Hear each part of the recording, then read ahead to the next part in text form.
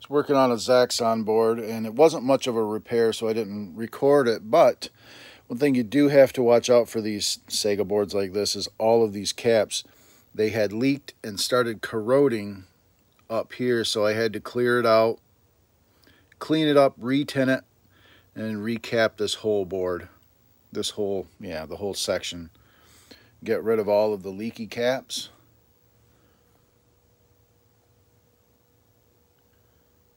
you they, they, that'll destroy, corrode and destroy the board. Zaxxon, I always did like this game. That's it. Didn't record it because it wasn't a very tough repair. It was just a cleanup and maintenance repair up here. Corrosion.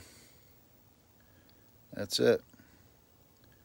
All right, we'll see you guys on the next Classic Arcade Repair.